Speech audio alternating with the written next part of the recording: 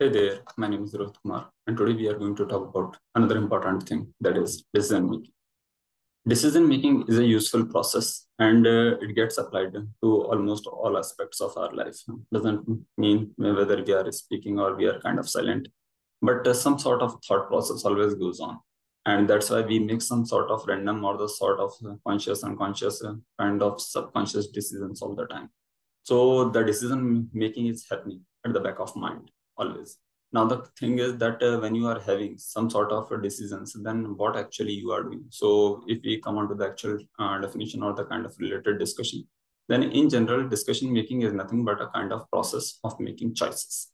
And uh, how do you make the choices? You firstly identify the kind of decision then you gather the relevant information then you have some sort of assessing the kind of alternative solutions or the sort of things then you think that yes the current solution is the best one. That's why you take that particular thing or the kind of choice as a decision so that's the normal decision making process.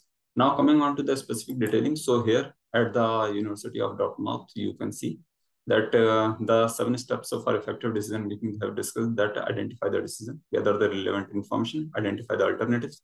Where the evidence the kind of evidences which are gonna support your decision then choose the among the possible other alternatives or the, the including this one and other alternatives, then take the action and just to, to make it real and then review your decision. So that's the whole process. Some of the steps might be leave, uh, means uh, you can just drop, for example, review the decision because you have taken already the decision. So whether you review it or not, that's a separate thing. But if your decision is a kind of um, uh, multi-step decision, then obviously after one step, you can review whether you want to continue with that decision or not. So these are the sort of things. So that's the general thing. And uh, all these steps uh, they have discussed over here in detail. But in today's video, why we are discussing this? Because uh, in our uh, computation models, in our uh, kind of MLDL sort of things, you may design some of the models which are taking decisions on behalf of you. So when you are designing the kind of expert system, when you are having the kind of intelligent system, the kind of automated devices, which are taking decisions almost every second, then you need a very effective decision making process. So that's why this topic becomes of quite relevance and importance. So we are discussing this particular topic in today's focus. And we are gonna see some of the related things and some of the related libraries which are gonna help you in deciding, in not in deciding means in designing your some of the related projects. So suppose you are uh, using this particular uh, library, GraphNets. So here it is what it is nothing but a kind of deep DeepMind's library for building the graph networks in TensorFlow and Sonnet. So if you are working in these kind of uh, frameworks, then this particular library might be useful for you. Additionally, what is graph networks? They have given a basic introduction. So obviously, it is nothing but the kind of combination of edges and nodes. And uh, then you have the some sort of global level attributes. So you can have the kind of related information. Then for the installation purpose, they have given the detailed installation uh, guidelines that uh, what to do with respect to CPU, with what to do with respect to GPU, and some of the uses examples also they have shown. Additionally, the demo Jupyter notebook is also uh, discussed over here. The kind of uh, shortest path demo they have given in the browser sort of thing. So hope this uh, particular library is gonna be useful for you. Additionally, we have another one, which is uh, termed as uh, the neural additive models and the neural additive models uh, are covered under the Google Research Project. So here you can see that uh, the in short, you name it, means the kind of acronym is developed for it NAM, neural additive models. And these are helpful for the interpretable machine learning with neural nets. So, so if you are a kind of uh, AI or ML uh, enthusiast or the person who is working with them, so you can go for this particular kind of choice, uh, having the NAM, or you can have the multitask NAM kind of uh, multitasking in the picture. Then some of the related dependencies, what are going to be the kind of sub uh, tools that you are gonna need for this particular task, the kind of data sets requirement, and uh, the obviously the ethical guidelines uh, that if you are using it, then you are supposed to cite this particular work. So these are the some of the related guidelines from them. Then moving on to the third one, so you have the IBA, and uh, here the uh, with respect to IBA paper code, you are having the code for the paper uh, where they are discussing the restricting the flow, means the information bottlenecks for the attribution.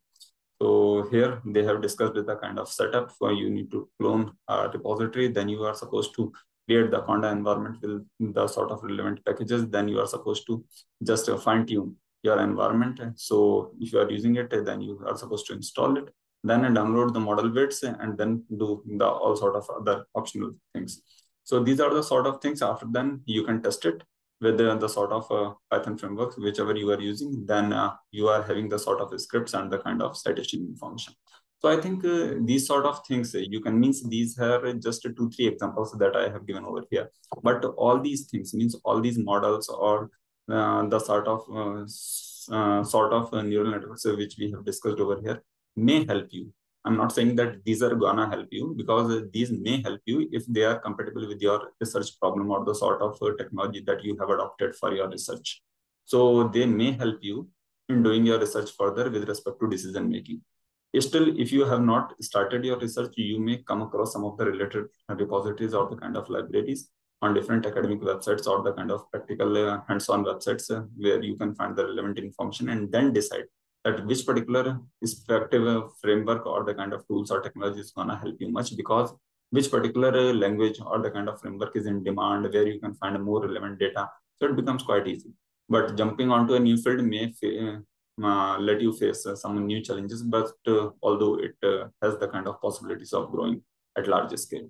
So that's all from my side for uh, this particular video. Hope you must have liked it. But uh, before closing the video i would like to discuss one more thing that uh, whenever we uh, come into the domain of uh, decision making, and the first thing comes to task that why do we need it? means we do know we do know that decision making is important. As I also told you, that almost every time our mind is making some sort of whether small or big decision but it is making. So it is uh, what it is going on. Actually, it is nothing doing nothing but collecting data and analyzing it.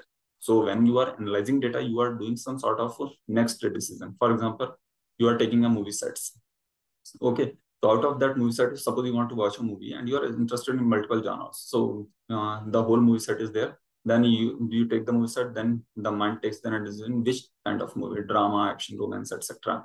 Then again you take a subgenre.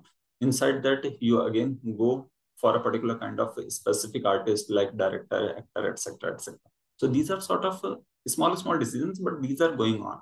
And these are based on the neural information that is passing through your brain. So that's why the decision making is continuously happening.